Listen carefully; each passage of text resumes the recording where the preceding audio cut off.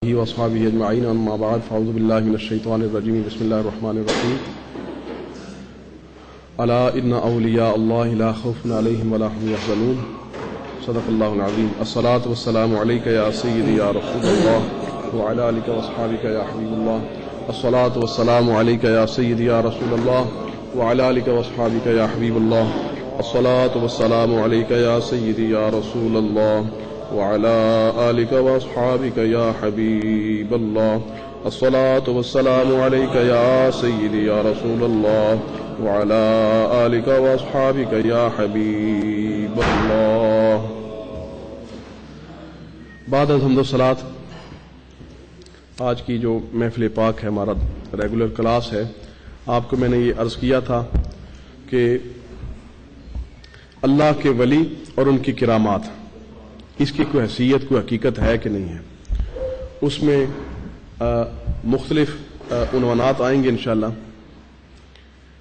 लेकिन पहले ये बात साबित करनी कि क्या कोई अल्लाह के वली वली के तौर पर इस्लाम में नबी पाक की ज़ुबान से साबित है कि वलियों की कोई करामात हो, या ये बात के मुसलमानों ने किसी और कौम से फ़ैशन के तौर पर या सुन सुनाकर या किसी कौम की नकल में, कॉपी में ईसा के कोई बातें घड़ ली हैं या इस्लाम के अंदर खुद एक वलायत और वलियों का कोई वजूद तस्लीम किया जाता है।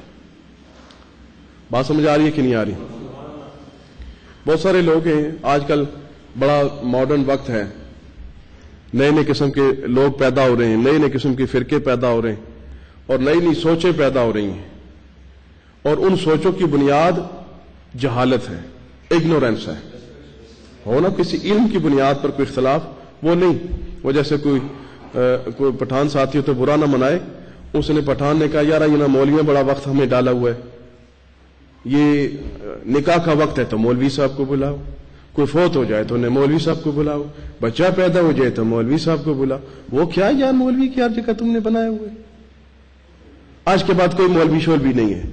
उनका फिर ये मौलवियों ने काम कौन करेगा? काम हम करेगा यार उनका फिर शुरू करो उनका सारे कलमा पढ़ो अल्लाह मसल मोहम्मद। शुरू करेगा। पता कलमे का नहीं है तो वो उसने वक्ता मौलियों से को डाला हुआ है। नहीं जी? इस तरह अगर इग्नोरेंस की बुनियाद पर इग्नोरेंस की बुनियाद पर और जहालत की बुनियाद पर कोई इख्तलाफ करे तो उसकी कोई हैसियत नहीं है। नए से नए तरीके।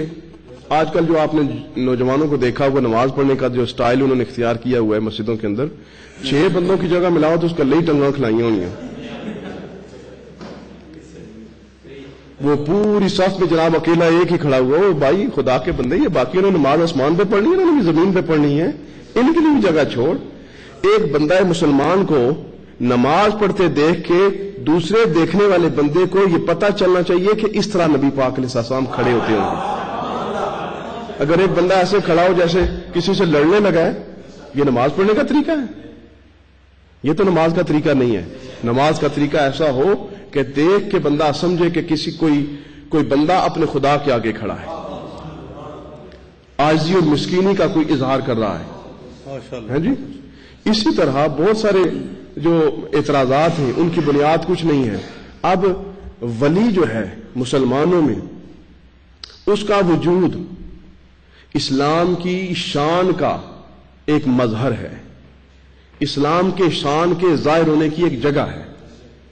जैसा मैंने पिछले दर्स में कहा था कि जिस वक्त हिंदू की जूत वो खुद उड़ा तो दाता साहब की जूती ने उसको उतारा। एक वली के वजूद की वजह से इस्लाम की इज़्ज़त जो है, वो उसमें इजाफा हुआ।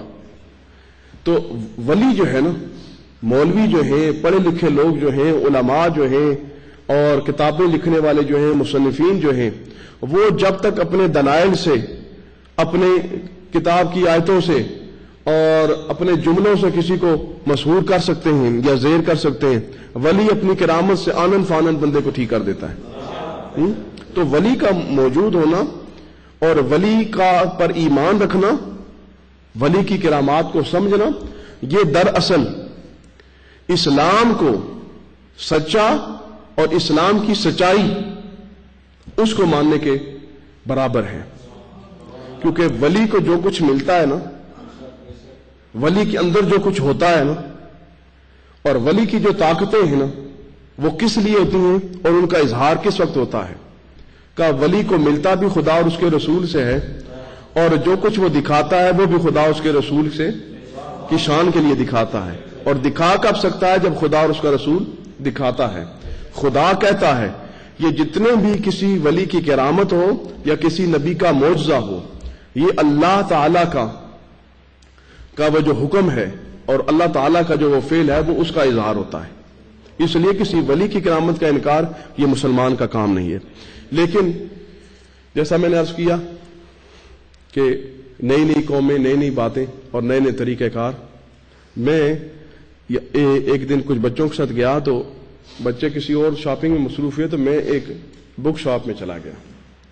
वहाँ जब मैं गया हूँ तो वहाँ वो सोमालिया के मुसलमान जो हैं, वो दुकान वाला और कोई उसके पास आया तो वो आपस में अरबी में बात करें तो वो कादरियों को बिलखसूस और शेख अब्दुल कादिर जिलानी, गौस आज़म रदील्ला तु को मौरद तनकीद बनाए तो वो आपस में बात कर रहे हैं, लेकिन बात करते करते वो एक जो बंदा दूसरे को कहता है कि हज़रत वाली बगदाद जो है, गौस पाक जो है, शेख अब्दुल कादिर जिलानी जो है, वो तो बेचारे कब के फौत हो चुके हैं, ये पीछे ऐसे बेचारे आप पागल बन रहे हैं। वो मर गए, वो खत्म हो गए, वो मिट्टी में मिल गई, इनको क्या इन्होंने देना है जो ये उनके नारे लगाते हैं? अब मैं ऐसे एक किताब उठाई थी, मैं अपनी किताब देख रहा था खरीदने के लिए। तो मैंने वही किताब पढ़ते पढ़ते ना, मैंने उसको कहा, वला तकूल युक्तलफी सभी अमवात। बल अहियाउन। कि जो अल्लाह के रास्ते में मारे गए, वो मुर्दा मत कहो, वो ज़िंदा है। उसने कहा था ना, वो मुर्दा है। मैंने कहा, वो तो ज़िंदा है। तो आगे, ला आगे से मुझे कहता है लाहौला वला कुआ कहता है, जब नबी मर गया है तो नबी का उम्मती क्यों यह दावा कर सकता है कि वो ज़िंदा है? फिर मुझे उसने कुरान की एक आयत कहना इन का मैतुन व इन मैतून कि अल्लाह ताला ने सरकार को फरमाया कि तुम भी मैयत हो और वो भी मैयत हैं। इन नका मैतुन व इन मैतून ये बात उसने कही। उस वक्त मैंने उसको कहा कि सियासता की आदीस नहीं पढ़ी। नबी पाक ने फरमाया फ़ा नबी हयुन जो अल्लाह के नबी होते हैं वो ज़िंदा होते जहाँ तक ये बात है अगर तुम ये कहो कि ये आयत है तो आयत पढ़ो, रब ने कैसे फरमाया? ये नहीं फरमाया इन नकुम मैतून तुम सारे मैयत हो। फरमाया इन नका मैतुन व इन हम मैतून ये क्या है? मैतुन क्या है? ये नकरा है। मैंने कहा, जब तकरार नकरे का नकरे से हो तो हर मरतबा में जब पहला नकरा, दूसरा नकरा तकरार होगी तो दूसरा नकरा और होगा, पहला नकरा और होगा। अगर हम सारी ये किस्म के मुर्दा होते तो फिर ये रब ना कहता कि इन नका मैतुन व इन मैतुन बल्कि फरमाता इन मैत सारे ही मुर्दे हो। लेकिन फरमाया, तुम और किस्म के मुर्दा हो, वो और किस्म के हैं।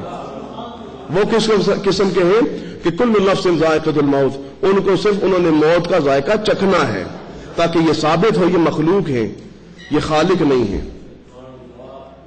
और अगर किसी को ये तकलीफ़ होती हो कि जो पैदा होने के बाद हमेशा ज़िंदा रहे, वो खुदा के बराबर हो जाएगा तो मुझे बताओ, रूह मरती है? रूह तो जीती है, रूह तो फना नहीं होगी तो क्या फिर रूह खुदा है? मैंने कहा, यार, अगर तू रूह को अफजल समझता है या नबी को अफजल समझता है? बता के नबी की वजह से रूह बनी है या रूह की वजह से नबी बनाया है? पहले वजूद जो है, रूह का है या पहले वजूद नबी का है? अगर नबी के सदके में सारी चीज़ें बनी हैं तो फिर इसका मतलब है रूह बाद में है, नबी पहले है। और मैंने कहा, जिस नबी की हम उम्मती हैं, उसके बारे में तुम सुन लो। सरकार ने खुद फरमाया कि मैं सबसे पहला अल्लाह का मखलूक में हूँ। सबसे पहली मखलूक में हूँ। और हर मखलूक मेरे नूर से है। अव्वलू मा खलक अल्लाह नूरी, कि सबसे पहले जिसको रब ने तखलीक फरमाया, वो मेरा नूर है। और फिर जितनी भी मखलूकत हैं वह कुल खलकिन नूरी, और सारी मखलूकत मेरे नूर से हैं। अब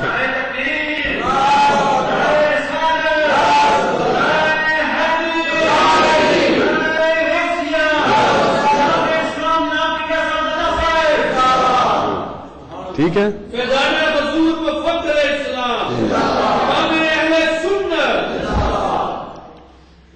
माशाल्लाह, बंदे आज अब थोड़े आप देखें, आप लोग इस वक्त उन साथियों को भी उस किरदार को समझें।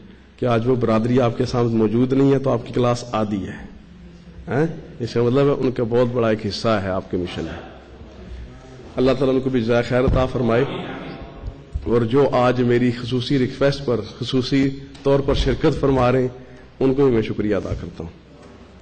जिन्होंने खसूसी तवज्जो फरमाई है, अल्लाह ताला उनको बरकत अता फरमाए। बहरहाल, अर्ज़ करने का मकसद यह कि बंदा इस वक्त आप नौजवान बैठे हुए हैं एक सवाल जो मुझसे बार बार किया जाता है वो ये है कि जब आप ये कहते हैं कि हर मखलूक सरकार के नूर से है तो फिर बाकी भी तो नूर हुए, क्योंकि नूर से पैदा होने वाला नूर होता है, इसलिए बाकी भी नूर है। तो उसके लिए किबला आलम ने बड़ा सादा सा, एक सुथरा सा जवाब आपके लिए रखा हुआ है। वो ये कि आज अगर आप ये सवाल कर सकते हैं कि जो चीज़ जिससे बनती है, वो वही होती है तो हमें ये बताएँ कि पानी किससे बना है? पानी बना है दो गैसेस से।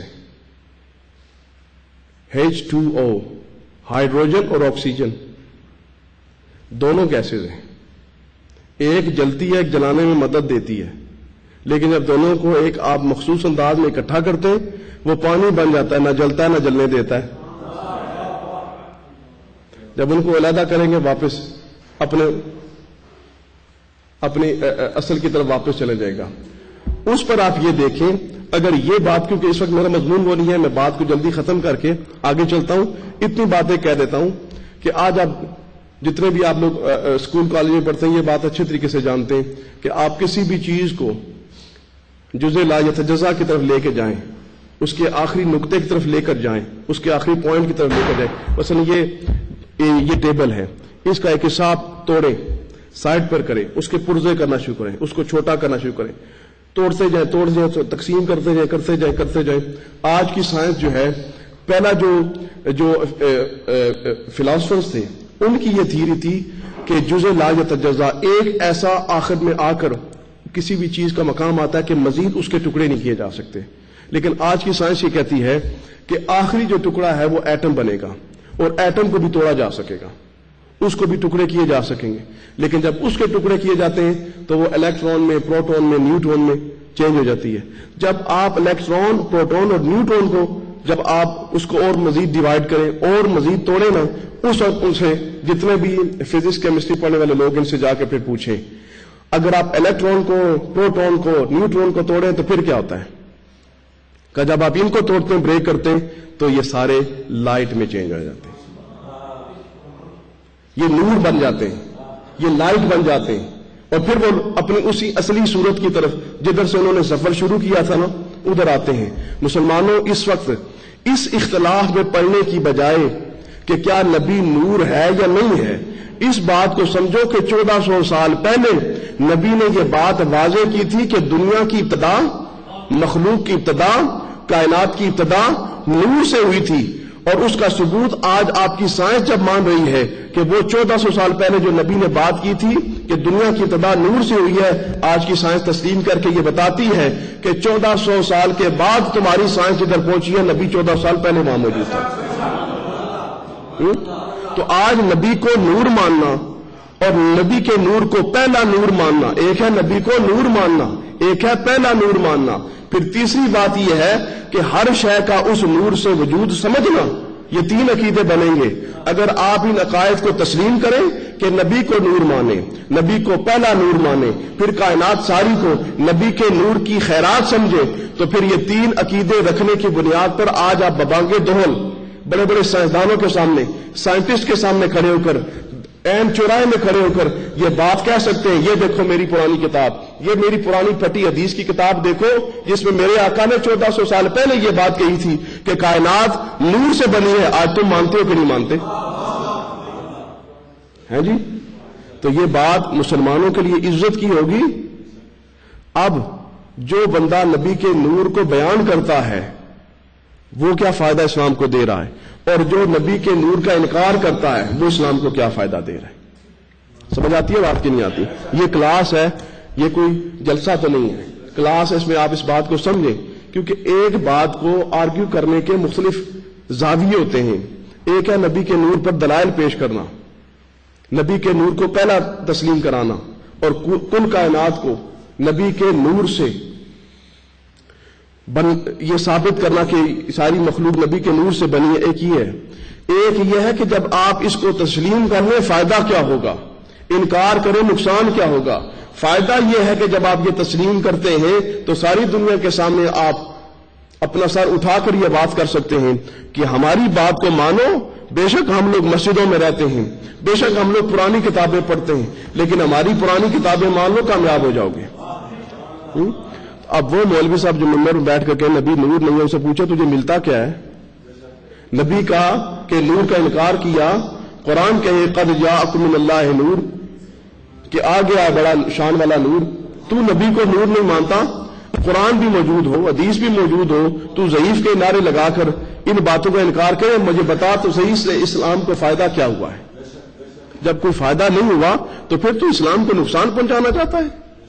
समझ रहे बात कहीं? बहरल अर्ज़ कर रहा था कि नए नए अकीदे और नए नई बातें बगैर किसी दलील के। उन्हीं में से एक ये बात है कि ये जो आपने वलियों की करामतें शरामतें बनाई हैं, ये सब ढोंग है, ये कुछ भी नहीं है, ये ऐसे ही है, ये सारे लोग हमारी तरह हैं। क्या है ये इनमें जो? नहीं, आपको ये बात समझनी होगी कि नबी पाक सलाम की तालीमत में ये बात मौजूद है कि अल्लाह के वली होते हैं और वो कुछ करके दिखा सकते हैं। उसके लिए मेरे सामने इस वक्त एक किताब है, जो किरामात ओलिया के नाम से है, और इमाम अल हाफिज अबिल कासिम हिबतुल्ला बिन अल हसन अतबरी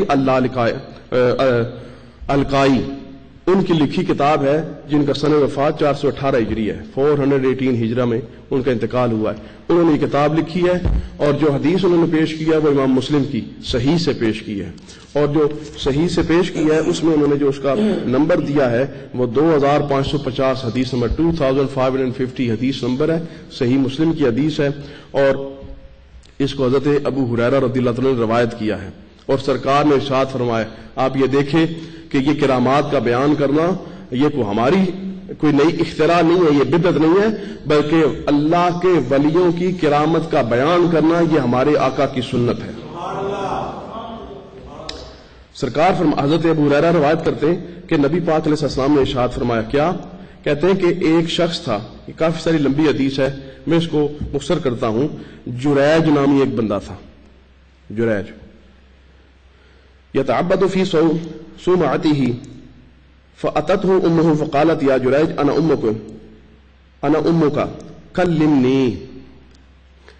जुरैज एक एक एक एक राहिब था जुरैज नामी वो अपने उसने अपना एक कमरा शमरा बनाया हुआ था एक जंगल में। वहाँ वो अल्लाह अल्लाह करता था, इबादत करता था। उसकी माँ आई उसके पास और आके कहने लगी, ओ जुरैज, अना उम्मो का मैं तेरी माँ हूँ। कल ने मुझसे बात कर। उसके दरवाजे पे नॉक किया तो कहती है मुझसे बात कर। ये बात कर, करने के बाद वो रावी बयान करते हैं कि नबी पाक सामने उसकी सिफात बयान की कि वो ऐसे ऐसे अल्लाह करता था ये ये काम करता था। बहरहाल जब उसकी माँ जो है वो नॉक कर रही है बुला रही है कि मेरे से बात कर उस वक्त वो जो रैद जो है वो दरवेश जो है, वो राहिब जो है, वो कहते अल्लाह उम्मी व सलाती, मौला करीम, तुझे पता है मैं नमाज़ में हूँ और मेरी माँ आ गई है। अब मैं तेरी नमाज़ पढ़ू या माँ से मिलूं? फख्तार सलात हूँ तो उसने क्या किया?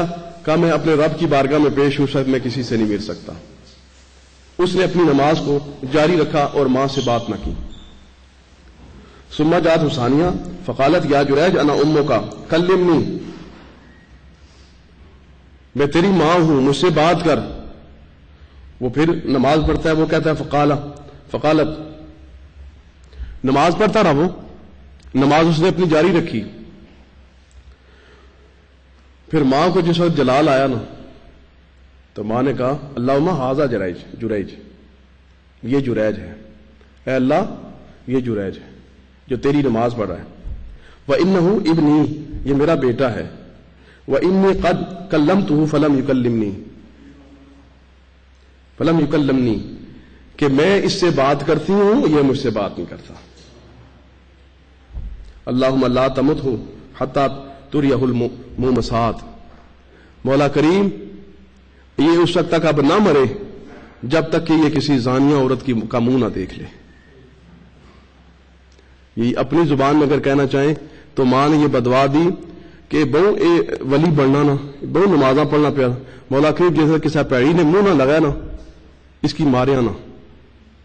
इसकी ता मारिया जो ये पैड़े लोगों ने मुँह तक है अब नमाज़ पढ़ रहा है बंदा, और माँ आ गई है।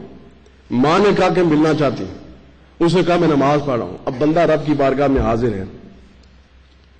और दो तीन दफ़ा वो आई, बेटे ने नहीं मिला, वो अपने नमाज़ में लगा रहा। माँ बदवा के बदवा देके चली गई। क्या हुआ? उस जंगल में एक औरत आई, एक एक मर्द आया। और वहाँ एक औरत रहती थी, वो उधर से गुजरी। तो वहाँ का जो कोई करीब के इलाके का बंदा था, उसने उस औरत के साथ जिना किया। जिना किया तो उससे बच्चा पैदा हुआ। जब उस औरत को बच्चा पैदा हुआ, लोगों ने पूछा कि ये बच्चा तुम कहाँ से लेकर आई हो? ये किसका बेटा इसका बाप कौन है? उस वक्त उसने कहा ये जरा बहु अल्लाह अल्लाह करना ये इस ना पे हुआ ये तुसा की तकी ना तो इतने अपर चढ़ी जाना तो अल्लाह अल्लाह करना रहना तो बड़े जनाब इससे मुसले बनाए तो जिसले रात पैनी तो ये पैड़े काम करना लोग आए जनाब हैं हूँ तक है मिस्र च एवं जनाब उठी शुरू हुई पे मिस्र के लोग हमारे मुसलमान भाई और सारा जनाब वो कौन सा वो जो उनका था वो स्क्वायर जो था, उन्होंने भर दिया जनाब, और कई दिन इनकलाब ले आए जी, उसने मुबारक चला गया, फलाना आ गया। अब जो नया आएगा, जो नया बंदा उसको जिसको वो लाना चाह रहे हैं, क्या नाम है उसका? जो पीछे जो इनका, है जी? जो इनका बना रहा है, जो टाइम यार थोड़ा बहुत नहीं जाता। अब बरादी बरादी साहब जो है, उन्होंने ऐसी बरादरी की थी, उस वक्त अमेरिका के साथ के बजाय मुसलमानों की बरादरी करने के, वो अमेरिका के बरादरी के वो थे। अब उसके पीछे कौम लगी हुई है और खाम खाम एक एक इनकलाब ले, इनकलाब लाए, इनकलाब का मतलब तो ये होता है कि आप इनकलाब को है बदल देना, उलट देना, बदला देना। तो सा इनकलाब कहता वो भी अमेरिका ने पिटू तो ये भी अमेरिका ने पिटू। वो कम पिटू था, ये ज़्यादा पिटू है, उनका नौकर रह चुका है। उसने बात वही करनी है जो अमेरिका ने हुक्म देना है। तुम्हें क्या मिला? इतना भी सैतर होया उस गच्छी दबाया ना जिसलै कि इस माल बड़ा काम किया सारे बंदे की जनाब कदाला टूरी पे। पंजा मिनटा जनाब उस जो इतिहास ना, सारा बेड़ा कर करी चुले ने। मैं थोड़ी आखी पाई नहीं सी। तो सारे इलाके चोने इस तरह ने काम करे। उसका सारा घर तबाह कर दिया। खत्म कर दिया। उसने कहा हुआ क्या यार, मैं अल्लाह ना कर रहा हूँ तुमने मुझे बाहर निकाल के ये सारा बेड़ा कर कर दिया, हुआ क्या? कहा, तुमने इस औरत से जना किया है और ये उसका सबूत यह कि ये बच्चा है। औरत कहती है कि तुमने ये जना किया है। उस वक्त वो जो जुरैज है, उसका वो बच्चा किधर है? कहा, वो ये है। उस वक्त उसने उस बच्चे की नाक पर हाथ रखा और उसने बता, उसने कहा कि बता, तेरा बाप कौन है? बता, तेरा बाप कौन है? वो बच्चा जो है वो चंद दिन का बच्चा जो है ना, वो बोल पड़ा। बोल के कहने लगा कि मेरा बाप तू नहीं है, मेरा बाप वो है। ये जो बहुत इल्ज़ाम लगा रहा है ना, ये है मेरा बाप। बच्चा बोला,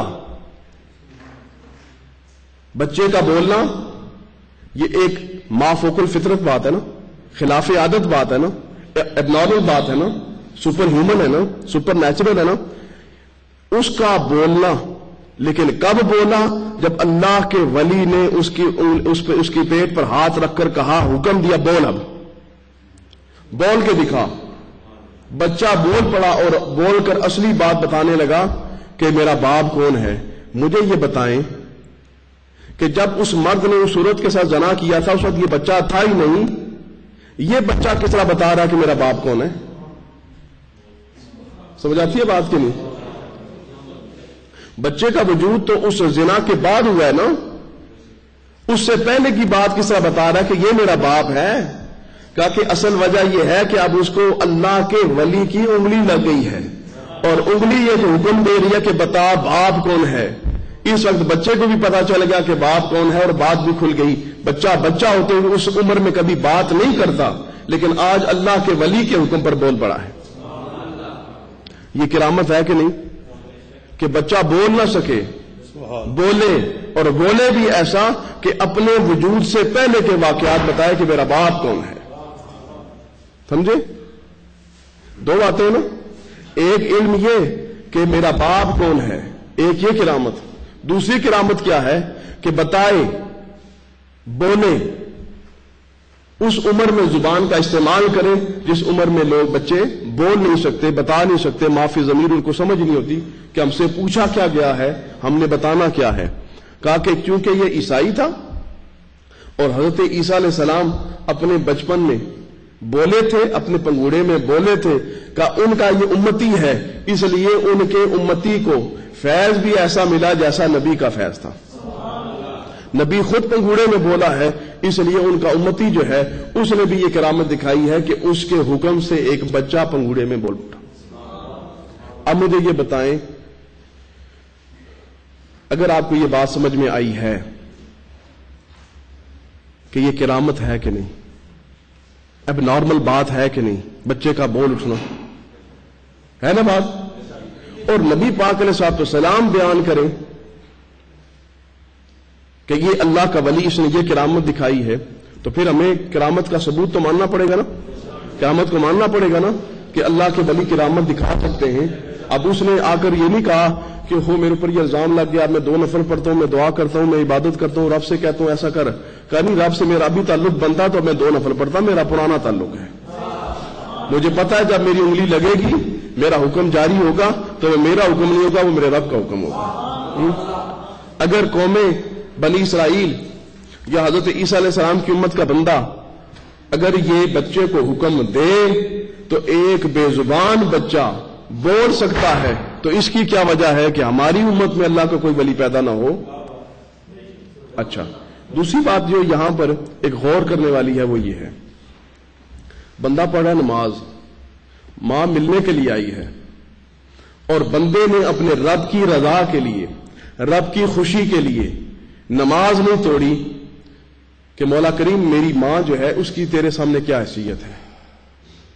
मेरे लाखों माँ बाप कुर्बान, मेरी लाखों इज्जतें कुर्बान, लेकिन मौला करीम तेरी बारगाह में हाजिर हूँ तेरी बारगाह में हाजिर होते हुए मुझे किसी दूसरे की तरफ़ तोज्जो करने की ज़रूरत नहीं है।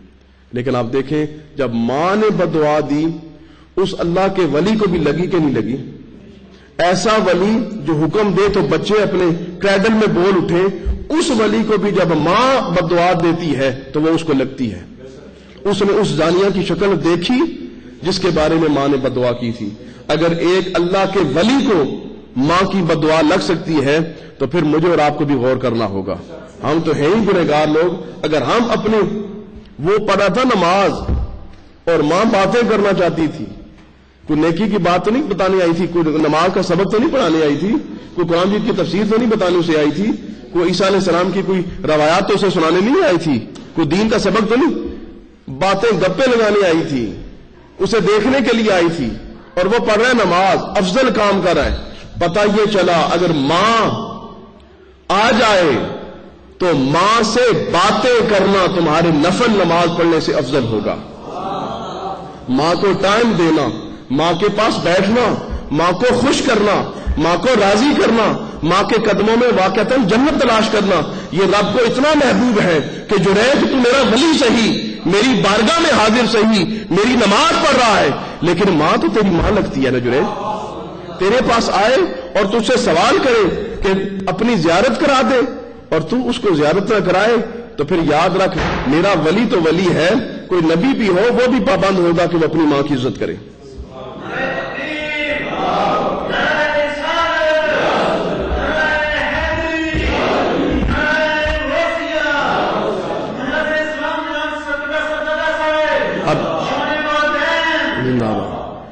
एक एक आप सारे यंगस्टर बैठे हुए हो। आप इस बारे में गौर करें।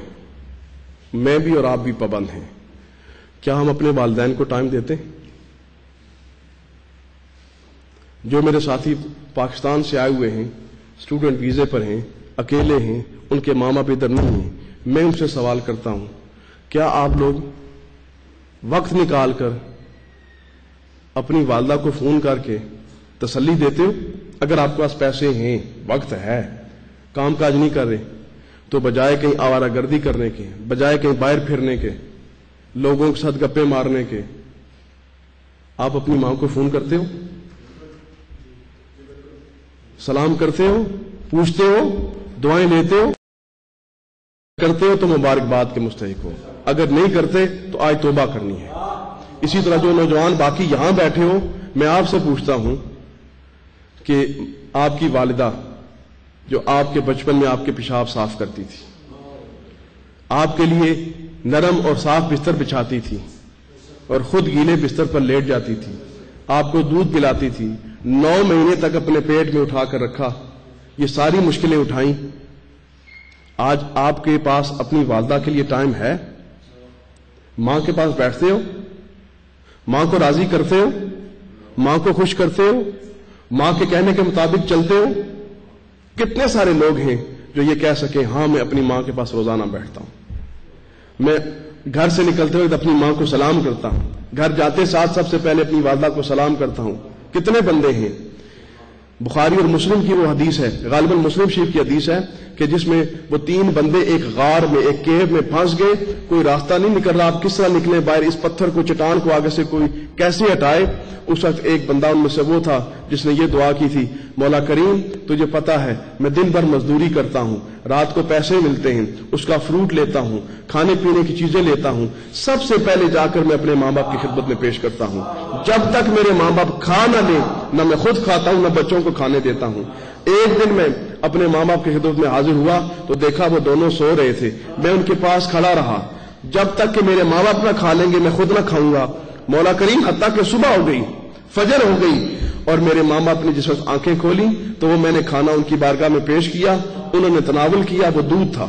दूध उनको पेश किया, उन्होंने तनावल किया, उसके बाद वो सो गए, उसके बाद मेरे बच्चे रोते रहे, लेकिन मैंने उनको नहीं दिया। जब तक मेरे माँ बाप नहीं खा लेंगे तो मैं नहीं दूँगा।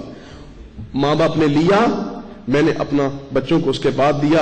मौला करीम, अगर ये काम मैंने तेरी रजा के लिए किया था तो आज इस पत्थर को हुक्म दे कि ये आगे से हट जाए और हमारे बाहर निकलने का रास्ता बने।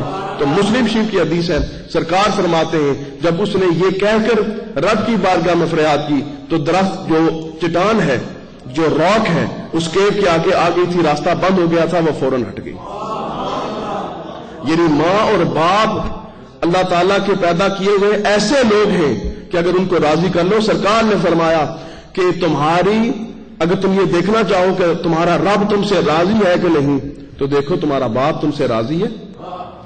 जिससे जिसका बाप राज़ी है, उससे उसका रब राज़ी है। का जन्नत में जाना चाहते हो? का फिर माँ के कदमों के नीचे ढूंढो?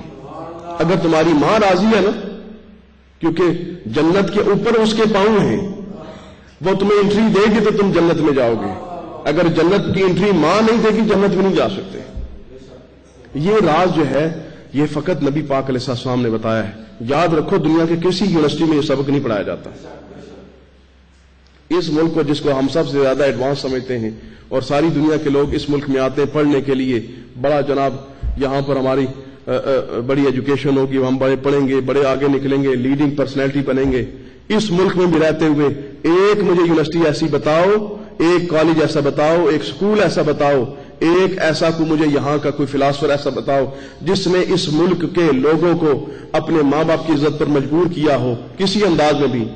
लेकिन इस मुल्क का फ़ैशन तो यह है, बच्चा बड़ा हुआ, सोलह साल का हुआ तो इज़ फ्री ना इज़ फ्री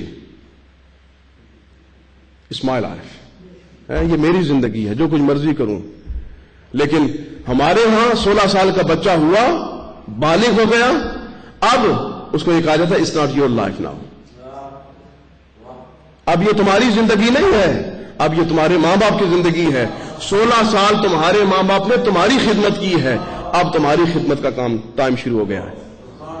अब तुमने खिदमत करनी है। हमारे यहाँ ये है। और हमारी खिदमत में ये नहीं है कि इतनी खिदमत, उतनी खिदमत।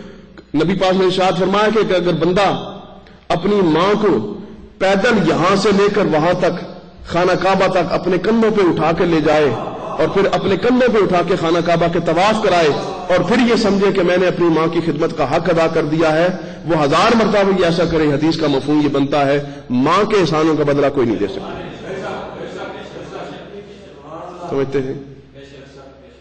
मुझे सरकार की वो बात याद आती है कि जब आप नबी पाक सलाम सफ़र फरमा रहे हैं। आपकी वालदा माजदा का मिज़ार मुकदस रास्ते में आया, आप रोना शुरू हो गए। और अपनी सवारी से उतर कर अपनी वालदा की कब्र पर तशरीफ़ ले जाते हैं। रब से इजाज़त मांगते हैं, मौला करीम, मुझे इजाज़त अता फरमा, मैं अपनी अम्मा जान की कब्र पर हाजिर हूँ। इजाज़त हुई, सरकार कब्र पर हाजिर हुए। कब्र पर हाजिर होकर अर्ज़ करने लगे कि मौला करीम, ये मुहिद थे, ये तेरे, तुझे मानने वाले थे। लेकिन ये मुझसे पहले इस दुनिया से चले गए। मेरे ऐलान नबूत को न मेरा न मेरा बाप सुन सका, न मेरी माँ सुन सकी। बेशक ये मुआहिद हैं, बेशक ये जन्नती हैं, लेकिन मौला करीम मेरे उम्मती तो नहीं है। क्यामत के मैदान में जब खड़े होंगे तो इनको दर्जा और स्टेटस तो वो वाला मिलेगा जो दूसरी उम्मतों का होगा। मेरी उम्मत में कैसे शुमार होंगे? इनको ज़िंदा फरमा, ताकि मैं इनको अपना कलमा पढ़ाऊं और इनको अपने साथ जन्नत में लेके जाऊँ। उस सरकार फरमाते हैं कि अल्लाह ताला ने मेरे लिए मेरी माँ को भी ज़िंदा किया, मेरे बाप को भी ज़िंदा किया और मैंने उनको कलमा पढ़ाया। हज़रत आयशा सिद्दीका फरमाती हैं कि जिस वक्त नबी पाक साम तशरीफ़ ले जा रहे, रो रहे हैं, लेकिन जिस वक्त वापस आते हैं, खुश हैं। मैंने पूछा यार रसुल्ला इसकी क्या वजह है? जाते वक्त रोते थे, आते वक्त हँसते हैं। खुश हैं, वजह क्या है? सरकार ने शाद फरमाया, जाते वक्त अपने माँ बाप के बारे में सोच रहा था तो रो रहा था।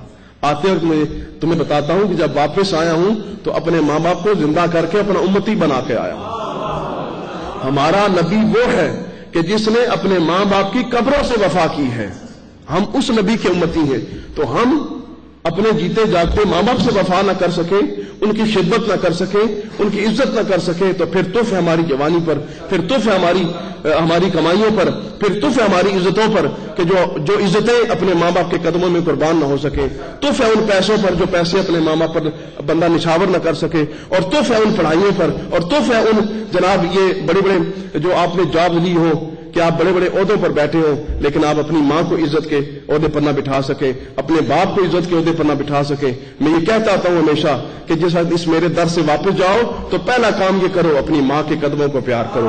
अपने माँ के कदमों को बोसे दो, अपने बाप के कदमों को बोसे दो, और उनको जाके बताओ कि आज हम नबी का दर्श सुनकर आए हैं। हम नबी की बातें सुनकर आए हैं। हमें नबी का ये दर्श मिला है कि हमारी जन्नत अगर है तो माँ के कदमों में है। अगर हमारी जन्नत है तो बाप के राज़ी नामे में है। अगर ऐसा काम हो जाए,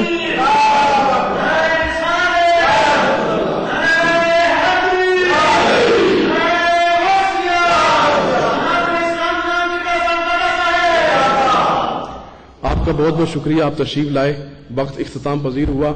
लेकिन एक दफ़ा फिर मैं आपसे दिल के दर्द के साथ ये अपील करूँगा। अपने माँ बाप को अपनी जन्नत समझो। इस दुनिया में तुमने नबी को नहीं देखा। नबी को नहीं देखा। लेकिन नबी की तालीम तुम्हारे सामने है। आज अपने माँ बाप को राज़ी करके देखो, अगर तुम्हारे दिल की दुनिया ना बदले तो मेरा नाम बदल देना। ये नबी की बात है। सारी दुनिया झूठी हो सकती है। नबी की बात झूठी नहीं हो सकती। अगर आज नबी की बातें करने में इतना दर्द है, उसके तालीम में इतना दर्द है तो खुद नबी के फरमान और नबी की शान में कितना दर्द होगा। इसलिए आपसे उम्मीद करूँगा तो करूँगा और आपसे ये रिक्वेस्ट और अपील करूँगा कि सारे दोस्त, नौजवान बिलखसूस, वो अपनी, आज अगर जाकर अपनी वालदा के कदमों का प्यार लें, उनके बोसे करें, बोसे लें, अपने वालिद के हाथों को, पौधों को जाके प्यार करें, जब वो पूछें, आज क्या करता है तो बताएँ, उनको बताएँ कि अब्बा जान आपकी इज़्ज़त का मुझे क्या पता था? ये मेरे नबी की इज़्ज़त का सदका है कि जिसने मुझे ये बताया कि रब राज़ी तब होगा जब तेरा बाप राज़ी होगा। और इसमें कोई शर्त नहीं है कि आपका बाप जो है वो बड़ा कोई रात को तहजद पढ़ता हो, बड़ा पाँच हाथ का नमाजी हो, बड़ा जनाब वो मस्जिद की तरफ़ दौड़ता हो, उसकी बड़ी बड़ी दाढ़ी हो, बड़ी बड़ी जुल्फे रखी हो तो तभी आप उसकी इज़्ज़त करेंगे। जो भी है बाप आपको, जैसा भी है, बाप लगता है, उसकी इज़्ज़त करो, उसके कदमों में बिछ जाओ, उसकी इज़्ज़त करो यही हमारे लिए इज़्ज़त है। ये मत देखो, मेरा बाप कितना बड़ा आलिम है। मेरा बाप किसी तुम्हारी जन्नत तुम्हारा बाप है। तुम्हारी जन्नत तुम्हारी माँ है। जब तक अपने माँ बाप को राज़ी नहीं करोगे ना, लोगों की इज्जतें करते फिर, कुछ नहीं मिलने वाला। रब नहीं राज़ी होगा। तुम्हारा रब तुमसे तब राज़ी होगा जब तुम्हारे माँ बाप तुमसे राज़ी होंगे। अगर तुम्हारे माँ बाप तुमसे राज़ी नहीं है तो फिर तुम रब को बनाना चाहो तो रब भी नहीं मानेगा। यही वजह है कि रब अपनी नमाजें माफ़ करेगा, अपने रोज़े माफ़ करेगा, अपने हज ना किए हुए वो माफ़ कर देगा। लेकिन अगर माँ बाप की बारगाह की कोताही की है, रब नहीं माफ़ करेगा। वक्त इख्ताम पजीर हुआ।